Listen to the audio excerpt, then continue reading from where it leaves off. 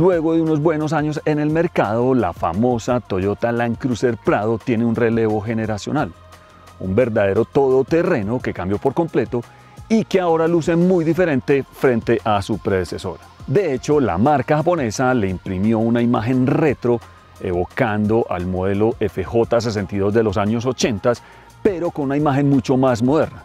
Además, mucho más confortable, potente y eficiente.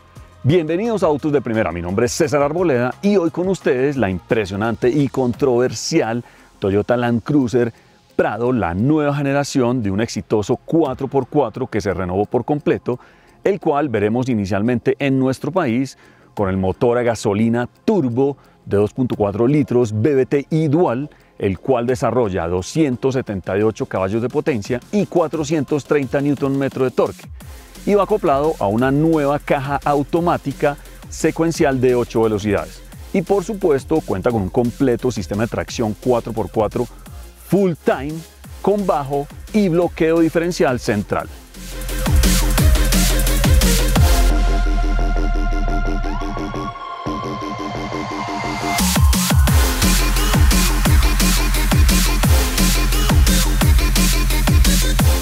Si no la han visto en las calles y comparada con la anterior generación, el cambio estético es evidente en la nueva Land Cruiser Prado. Esto ha generado toda clase de reacciones, pero lo más importante es que este 4x4 mantiene esa imagen robusta que caracteriza a los Toyota. Un dato relevante es que desde su debut, la casa japonesa ha vendido más de 11 millones de unidades de la familia Land Cruiser. Recuerden que esta se divide en tres categorías, las lujosas Station Wagon, como su hermana mayor la Land Cruiser 300, las Heavy Duty, que es la serie 70, estos son vehículos que están destinados más para un uso profesional, y las Light Duty, que son modelos más prácticos y versátiles como la Prado.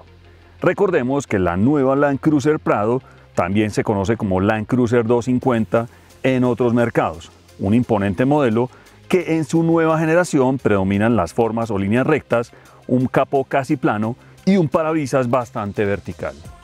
Y en el frente, esta nueva generación de la Prado se destaca por unas luces horizontales que son rectangulares. Los faros principales son tipo reflector, que son tres a cada lado. En la parte superior están las luces día o DRL. Y esta versión TXL se destaca por una parrilla con un marco en gris plata. Este visor también en la parte superior es gris plata. Y en el centro cuenta con una parrilla en cuadros negros con la palabra Toyota grande en el centro. Más abajo en el parachoques cuenta con detalles que están pintados del mismo color de la carrocería hacia los lados, en donde se ubican las exploradoras en LED, y debajo de la placa cuenta con otra rejilla para más entradas de aire. Toda esta área donde se ubica la placa es de color negro y en el inferior trae un skid plate. A los costados hay una gran pieza que cuenta con unas pequeñas entradas de aire las cuales se unen con los pasos de rueda reafirmando la solidez típica de este todoterreno. Vista de lado, como pueden ver, su figura es imponente donde se resaltan varios detalles. El primero es la línea de cintura que salta, eso hace que sea mucho más robusta, lo mismo que los hombros que están muy marcados tanto en la parte delantera como en la parte de atrás. Y hay un detalle es que miren este escalonamiento aquí en la segunda puerta, haciendo que se vea mucho más aventurera. Y otro detalle es esta línea en el paral D, en la parte superior, lo mismo que en el A, en este color casi no se nota, pero en otros colores van a ver la diferencia. Sumado a unas barras de techo que son funcionales.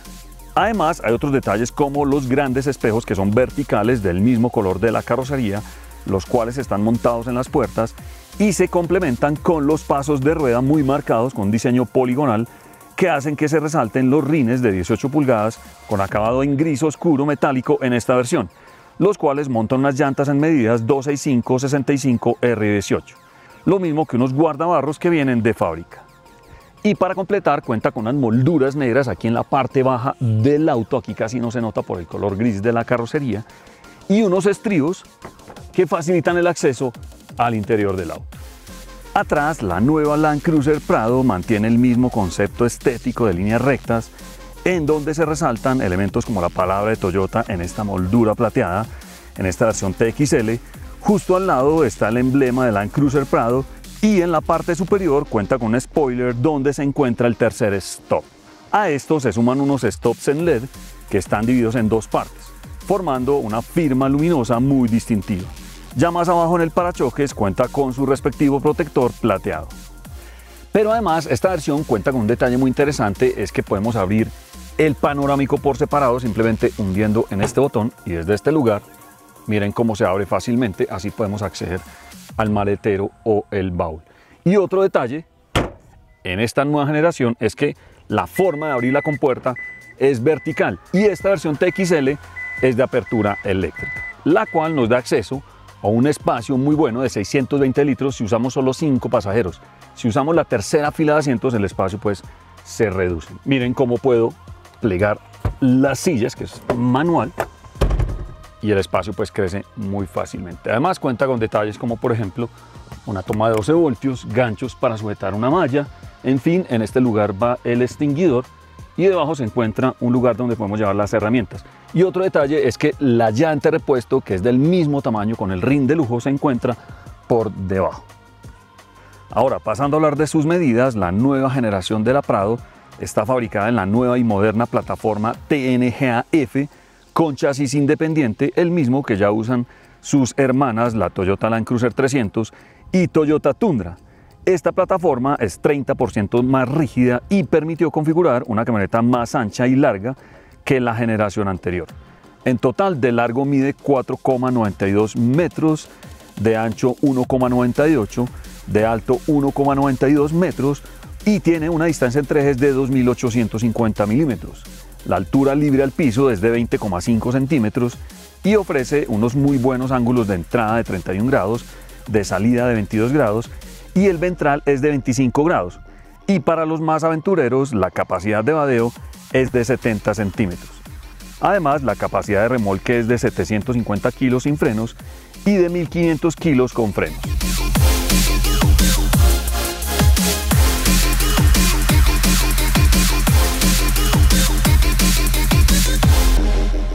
Ya en el interior, como pueden ver, no hay nada común entre la nueva Toyota Prado y la anterior generación.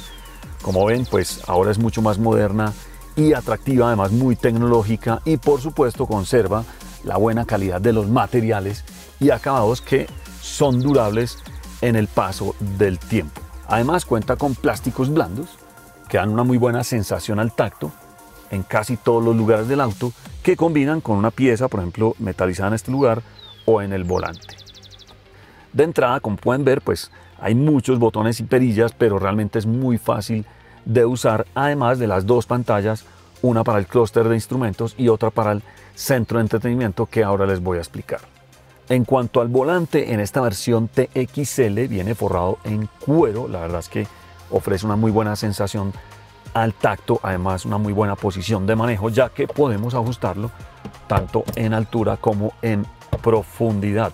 Por supuesto cuenta con la palabra Toyota aquí en el centro y además cuenta con mandos para gestionar algunas funciones del clúster de instrumentos, subir y bajar el volumen o contestar una llamada de este lado. Y del lado derecho cuenta con control de crucero con limitador de velocidad, pero ojo, no es adaptativo.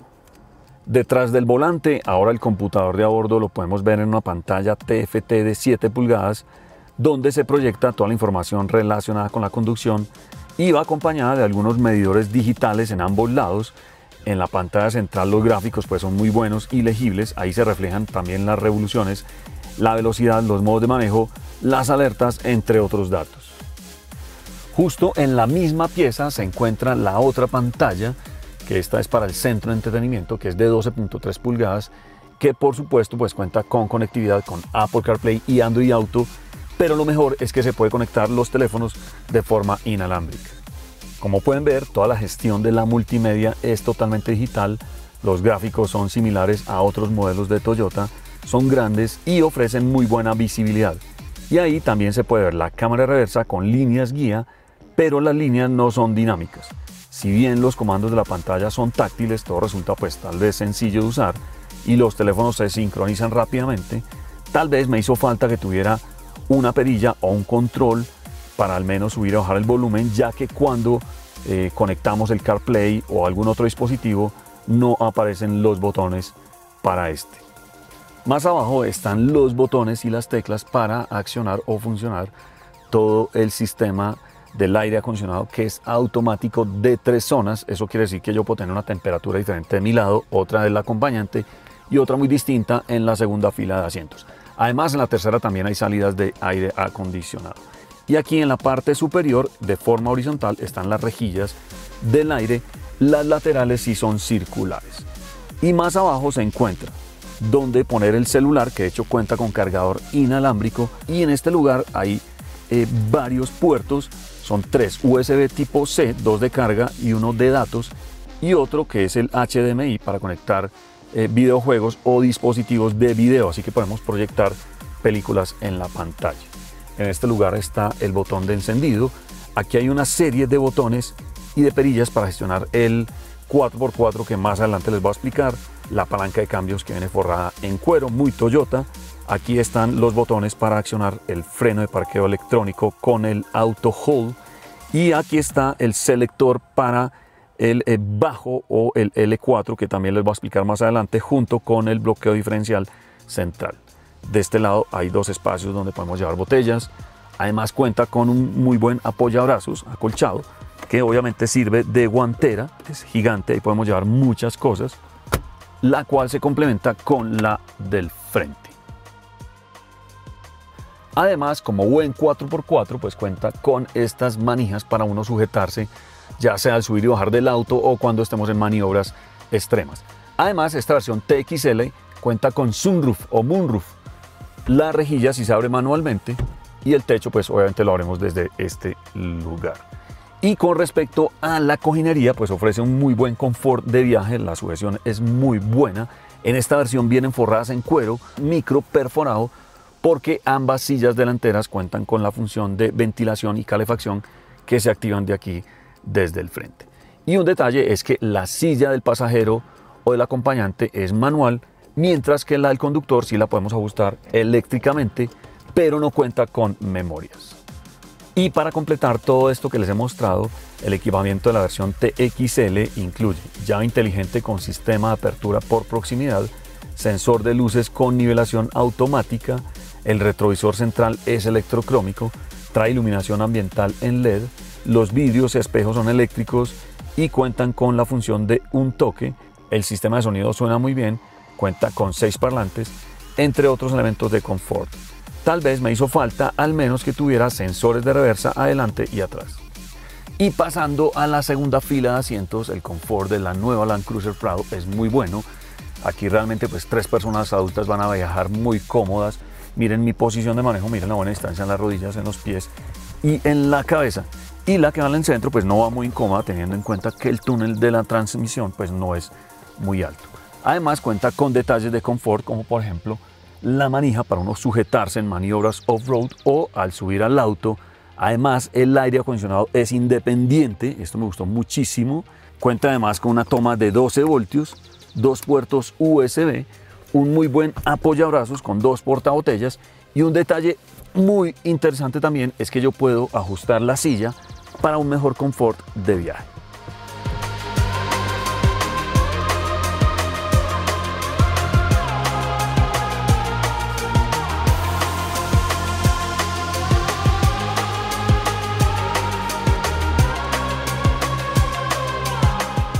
Y un punto destacado en la nueva generación de la Line Cruiser Prado es que la marca japonesa mejoró el acceso a la tercera fila de asientos. Les voy a mostrar, es muy fácil, miren, simplemente moviendo la palanca se dobla la segunda fila de asientos.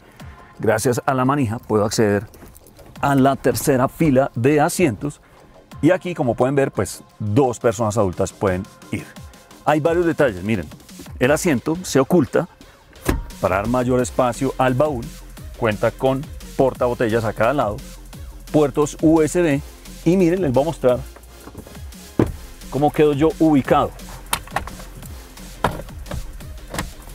Aquí puedo ir perfectamente.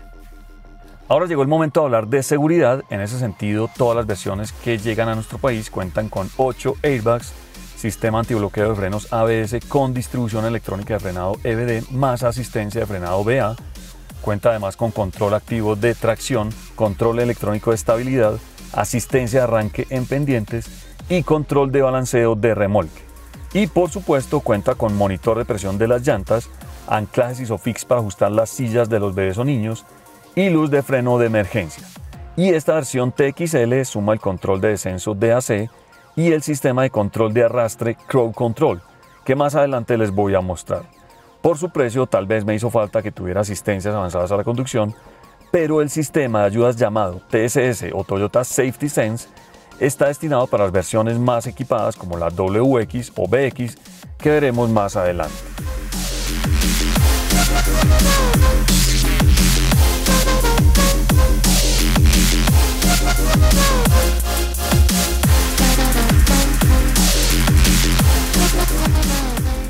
Otra novedad importante de la Toyota Land Cruiser Prado para Colombia es que debajo del capó vamos a encontrar ahora un nuevo motor turbo a gasolina de 2.4 litros, el cual entrega 278 caballos de potencia a 6.000 revoluciones por minuto y un torque de 430 Nm desde las 1.700 revoluciones por minuto. Este motor de 4 cilindros en línea cuenta con el sistema de control valvular BBTI dual con transmisión por cadena e inyección directa.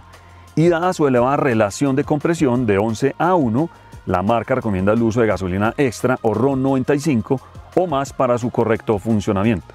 Otra novedad es la caja automática que pasa a ser de 8 cambios en vez de 6 y trae un selector circular para los modos de manejo, que son normal, sport o eco.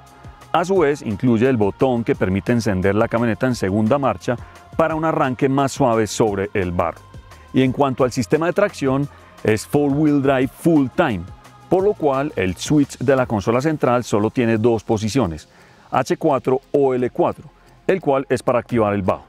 Y para completar cuenta con diferencial central LSD tipo Torsen con bloqueo manual y esta versión TXL incluye Crow Control, que gestiona la aceleración y el frenado de forma automática en condiciones off-road extremas.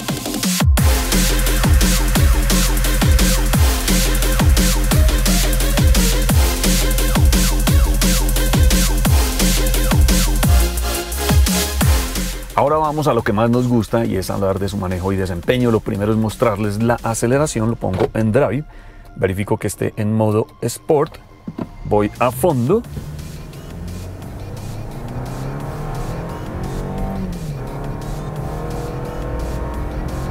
Y como pueden ver, ahí ya estoy en 100 kilómetros por hora. La marca no especifica cuánto hace 0 a 100 ni cuánto es la velocidad máxima, pero bueno, ustedes ya pudieron ver el eh, desempeño, la aceleración de la nueva Land Cruiser Prado, teniendo en cuenta que estoy a la altura de la Sabana Bota, la verdad es muy buena.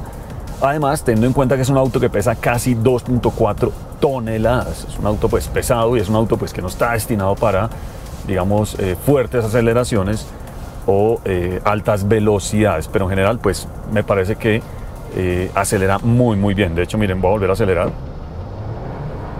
responde inmediatamente. Este turbo responde desde muy bajas revoluciones, no se nota el lag, eh, que eso pues es muy clave.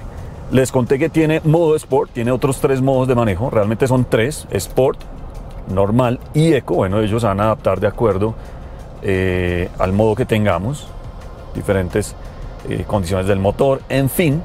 Y hay un dato interesante, es que además este auto lo podemos conducir de forma manual, simplemente deslizando la palanca hacia la izquierda, ahí yo puedo mantener el cambio. Entonces miren, ahí por ejemplo está en M4, que es manual en cuarta, bajar la tercera, automáticamente se revoluciona responde, mantiene el cambio. Cuarta, quinta, eso es para una conducción pues mucho más personalizada. Y aquí ven un dato interesante que muy seguramente muchos de ustedes se preguntan y es el consumo de combustible, la gasolina, en fin. Resulta que este motor de 2.4 litros turbo debe usarse con gasolina extra o RON 95 o más. El tanque de combustible es de 21.1 galones, o sea, 80 litros. Y el consumo va a depender obviamente del manejo de cada persona, de las condiciones del terreno, eh, el peso que llevamos en el auto, en fin, pero más o menos para que ustedes se hagan una idea, ahí me está haciendo en este momento 7.9 kilómetros por litro, eso es aproximadamente unos 30 kilómetros por galón. Ese es un consumo mixto que he tenido en esta prueba entre ciudad y carretera, pero eso es un dato pues más o menos de acercamiento. En general, la verdad es que me ha gustado mucho el manejo de esta nueva generación de la Land Cruiser Prado o Land Cruiser 250. Recuerden que ahora cuenta con eh, asistencia eléctrica en la dirección, entonces eso hace que se ponga dura a altas velocidades y mucho más blanda o suave cuando estemos a bajas velocidades o haciendo maniobras de reversa, en fin. La suspensión súper, digamos, podríamos decir suave, aunque es firme teniendo en cuenta que es un auto que está enfocado principalmente a un desempeño pues 4x4. Además está muy bien insonorizado, ese es un ajuste que hizo eh, la marca japonesa, de hecho altas velocidades, teniendo en cuenta que es un auto pues muy cuadrado, no se sienten mucho los ruidos del camino o los ruidos del viento. Además hay que tener en cuenta que la mayor rigidez del chasis, los cambios en la suspensión y la mayor cantidad pues de material aislante hace que los viajes pues, sean mucho más agradables, no solo en carretera, sino también en ciudad. Y otro detalle es que a pesar de su condición de ser un auto 4x4, ofrece un muy buen control en las curvas y en general pues ofrece una muy buena visibilidad en todas las direcciones.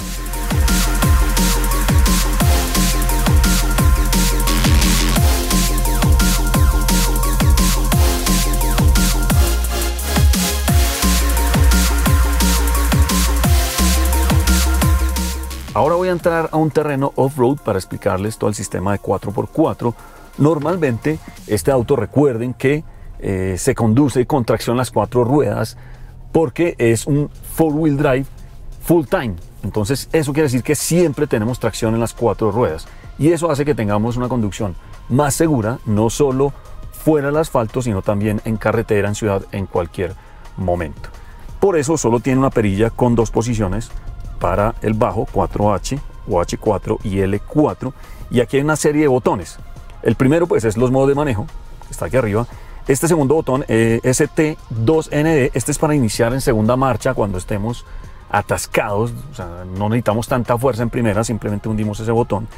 Y el DAC Crow ese por ejemplo funciona. Si estoy en 4H miren yo lo activo y ahí se activa el control de descenso. Y el control de descenso no solo en terrenos off-road, sino también en carretera, va hasta los 30 kilómetros por hora. Entonces yo puedo ir subiendo la velocidad, miren, ahí voy en 15 kilómetros más o menos, 20 ahí va más rápido, o puedo hacer que se frene un poco más. Entonces eso hace que tengamos una conducción más segura en descensos, listo, hasta 30 kilómetros por hora. Ahora, si yo ya estoy en un terreno mucho más complejo y necesito activar el bajo, entonces ahí sí, debo parar, poner en neutra y con este selector lo pongo en L4. Ahí se activó el 4 low. Doy marcha y listo, ahí ya tengo tracción duplicada para salir de una situación mucho más compleja. Entonces, ¿qué pasa en este momento? Este botón de DAC Crawl, al yo activarlo, lo que hace es que se activa como una especie de control de crucero todoterreno. Y ese control de crucero todoterreno lo eh, manejamos desde esta perilla. Entonces tiene, digamos, como cinco posiciones. Low y high. Ahí voy en la velocidad más rápida que puede ir cuando estoy en L4. Eso sí estoy saliendo de un atasco mucho más complejo. Y si yo quiero que eh, el auto pues vaya mucho más despacio para concentrarme pues en, una, en el volante, entonces simplemente bajo la velocidad desde este lugar mismo hasta la velocidad más lenta de todas. Ahí va el auto descendiendo. Obviamente no estoy en este momento metido en un atasco o algo así, pero ese es el famoso Pro Control que funciona desde ese botón siempre y cuando estemos en L4. Bien, voy a subir la velocidad. Ahí, va bajando. Y obviamente en la pantalla nos está apareciendo que se desactivó el eh, sistema de control de tracción. Listo, siempre que estamos en 4x4 eso se desactiva automáticamente. Aquí viene otro detalle también interesante. Y es que eh, esta Toyota Prado cuenta con bloqueo de diferencial central. ¿Qué es el bloqueo de diferencial central? Es que eh, él bloquea automáticamente las, digamos, las cuatro ruedas o los dos ejes. Entonces, si yo lo activo, ahí ya está activado, lo vemos en la pantalla. Él lo que hace es que eh, las ruedas van a girar al mismo tiempo, tanto las delanteras como las traseras, para salir de un atasco pues mucho más fácilmente. Entonces, este sistema de 4x4 la verdad es impresionante, funciona supremamente bien. Eh, mucha gente de pronto no disfruta de este sistema 4x4 en la Prado. Yo los invito para que lo manejen, que es impresionante. De hecho, eso hace que este auto sea tan costoso, porque este es un verdadero 4x4. La verdad es impresionante. Miren, ahí yo solo voy con el crowd control bajando y no tengo que hacer absolutamente nada. Incluso también cuando voy subiendo. Recuerde que son cinco posiciones. Voy a volver a parar. Pongo neutro y desactivo el L4. Listo. Ahí se desactivó el bajo, pero quedó activado el bloqueo diferencial. Igual en H4 yo puedo activarlo para salir de un atasco. Miren que ahí ya voy mucho más rápido bajando. O simplemente activo el DAC, que es el control de descenso, y aquí regulo la velocidad. En conclusión, como han podido ver, pues la nueva Toyota Prado continúa con ese afamado reconocimiento de un verdadero 4x4 con mejoras en general que no solo hacen que este auto pues sea mejor en todo terreno, sino también para uso en la ciudad. Hay otro detalle es que los cambios en el chasis y la electrónica, así como el nuevo conjunto motriz, permiten pues un mejor desempeño en general. Y por supuesto, pues para los más fans de este modelo, pues eh, se puede mejorar con accesorios para un mayor desempeño off-road, como por ejemplo pues unas llantas MT o kits en la suspensión, en fin. Eso hace que podamos modificar la altura, pero pues todo eso ya corre al gusto de cada cliente y el presupuesto pues de cada uno de ustedes. Puede que el diseño de la nueva generación pues sea muy controversial, pero definitivamente pues es un gran 4x4, un modelo que en la medida que se vea más en las calles, pues seguramente pues va a convencer a nuevos compradores.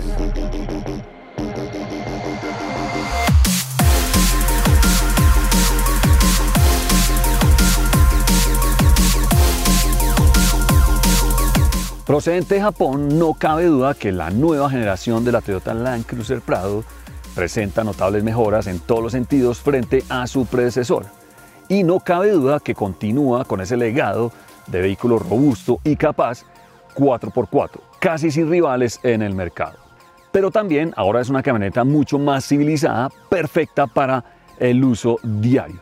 El precio de esta y de las demás versiones lo encontrarán en la descripción del video. ¿Qué les parece? ¿Les gustó la nueva generación de la Toyota Land Cruiser Prado o Toyota Land Cruiser 250 como se conoce en otros mercados? Como siempre, déjame tus preguntas o comentarios al finalizar el video y por supuesto no olviden darle like, compartir nuestros contenidos, además de suscribirse a nuestro canal para seguir haciendo videos como este. Nos vemos en un próximo video.